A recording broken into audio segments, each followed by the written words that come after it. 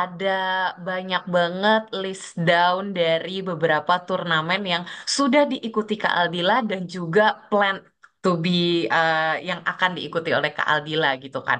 Kalau misalnya nanti kita hitung bareng-bareng gitu ya, kalau di Januari ada tiga, Februari ada empat, kurang lebih itu udah hampir 20 turnamen nih ya kan. Keren banget Kak Aldila, aku tepuk tangan dulu ya.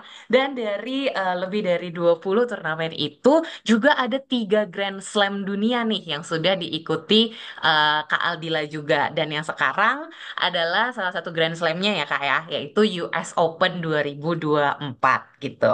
Nah, uh, boleh diceritain nggak sih Kak sekarang untuk persiapan US Open 2024 gimana? Dan seperti yang tadi Kak Aldila juga udah share dan mungkin beberapa rekan media juga mungkin sudah tahu bahwa kali ini pasangan Kak Aldila di ganda putri itu adalah Ena Shihabara ya, pasangan yang mungkin sebelumnya uh, baru uh, dibanding dengan uh, apa namanya dari awal tahun sampai tengah tahun kemarin. Mungkin Kak Adila boleh cerita sedikit gak untuk persiapannya, terus kemudian chemistry-nya juga bareng sama Kak Ena Shihabaranya.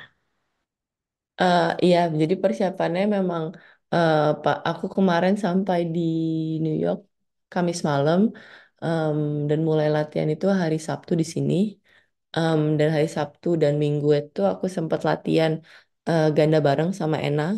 Jadi kan memang aku sebelumnya itu belum pernah main double sama Ena, tapi udah ser- lebih sering lawan.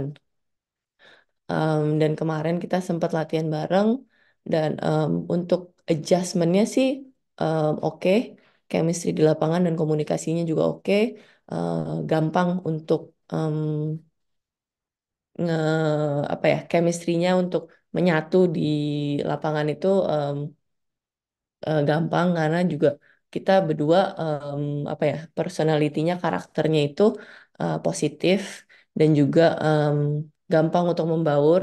Jadi eh, untuk sekarang sih bisa dibilang persiapannya em, udah udah oke Eh, karena kan juga Ena harus mempersiapkan diri untuk bertanding tunggal eh, hari ini.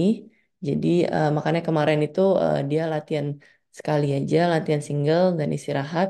Eh, jadi aku juga masih tetap latihan em, ganda eh, bersama dengan orang lain. Em, dan hari ini pun juga aku ada schedule untuk latihan nanti sore. Eh, jadi memang udah persiapannya udah udah sangat baik dan kami sudah eh, ready untuk bermain babak pertama nanti.